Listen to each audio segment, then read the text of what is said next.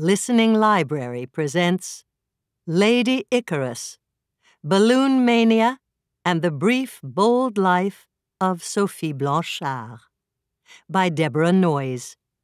Read for you by Suzanne Toren. Introduction In December 1776, a wily old American climbed off a boat onto the rocky coast of Brittany, France, with his two grandsons. The man was Benjamin Franklin, and he was malnourished, seasick, and exhausted, covered in boils and scabs. It had been a dark, turbulent winter voyage across the Atlantic, but his mission was urgent. America was a British colony with a brand new Declaration of Independence claiming the colony's right to govern itself. Armed conflict between British soldiers and bands of American colonists had begun in April 1775, and when the British Crown sent its mighty army to crush rebellion in the colony, it fanned the flames of revolution. England and France were old enemies and Benjamin Franklin was making his way to the French capital to drum up support for what was evolving into America's fight for complete independence from Britain. It wasn't Franklin's first trip to Europe, and he was already a celebrity among French aristocrats and intellectuals. They knew him not as an American statesman, patriot, and printer, but as the inventor who had tamed lightning as a living symbol of the new, enlightened man of science. Living by his wits in France and putting his social charms to work for the American cause, Franklin would coincidentally be on hand to witness startling scientific and technological advances over the eight years he would spend in the country. This would include a landmark human feat. We think of nothing here at present but of flying, he wrote to a correspondent in London. Marie Madeleine Sophie Armand, who would grow up to become Madame Sophie Blanchard, the world's first professional woman pilot, was just a few years old when the initial balloon flights took place in 1783. Her family lived 170 miles down the French coast from where woozy Benjamin Franklin had stepped off that boat in Brittany. A shy daughter of peasants, Sophie wouldn't make her mark on history for two more decades. But to tell the story of a pioneering female balloonist, it turns out, you have to tell at least some of the early history of ballooning. That history begins in 1780s France, an impoverished nation barreling toward a bloody revolution.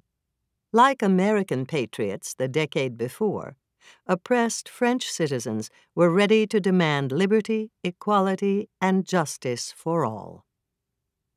The uprisings, first in America and then in France, were signs of the times, and few things were more revolutionary than balloons, which, as Victor Hugo, the author of Les Miserables, put it, freed humankind from the tyranny of gravity.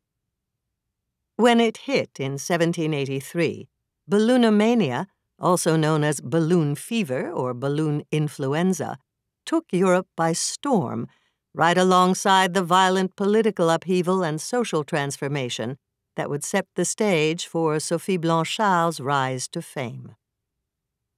For years to come, everyone would be talking about the new science of air travel, aeronautics, about the wondrous air transports and how they achieved flight, aerostats and aerostation, and about the brave men and women who flew in the face of gravity, aeronauts. There are very few original documents available that shed light on Sophie Blanchard's childhood and early years. I've reconstructed that part of her life based on what little we do know and in light of when and where she lived. For that reason, this book is very much a life and times, with an emphasis on early flight, revolutionary politics, and the phenomenon of balloonomania. Like early hot air balloons, which were notoriously difficult to steer, this tale may drift a bit, both in the spirit of the subject and with the winds of historical context. But hold tight and watch how a bird like country girl became a high flying celebrity, survived a revolution, and flew for an emperor and a king. Chapter 1 A Mysterious Stranger, March 1778. Marie Madeleine Sophie Armand, later known as Sophie Blanchard, was born March 25, 1778, in the remote hamlet of Trois Canons, near La Rochelle, on the sunny west coast of France. She would arrive in the world a few years before the first really big event of aeronautic history, but, as the story goes, Sophie met her future husband and ballooning partner even before she was born. It was early springtime. Like all peasants bound to the land, Sophie's father would have been out tilling the fields, while her pregnant mother kept the family's humble inn. Peasants delivered an injured stranger to the inn that morning, an aeronaut on a makeshift stretcher. His balloon had crash landed in a nearby meadow. Peeled from a tangle of rope and deflated taffeta, the tiny spitfire of a pilot was battered and bruised, but alive. Over the coming days, the Armands offered Jean Pierre Blanchard care and comfort, though the mysterious stranger had no money to repay their hospitality. Listen and mark my words, the airman told the couple on his way out grinning at the mother to be who had so generously tended his injuries. Fortune cannot always desert me. In sixteen years, if alive, he vowed, I will return. If the child who will soon be born to you should be a boy, I will adopt him. Exchanging a glance, his hosts chuckled politely. If a girl, Blanchard added in that boasting tone of his, I will marry her. Chapter 2 The Race is On. The first recorded hot air balloon flight, Annonay, France, June 1783. The first recorded hydrogen balloon flight, Paris, France, August 1783. A few years after that alleged crash landing in a field in Trois Canons, Jean Pierre Blanchard was in Paris, feverishly designing flying machines. Like diplomat Benjamin Franklin, Blanchard was an inventor. And like Franklin and others in the capital at the time who were interested in scientific progress, he was keeping a close watch on the experiments of two brothers in the south of France.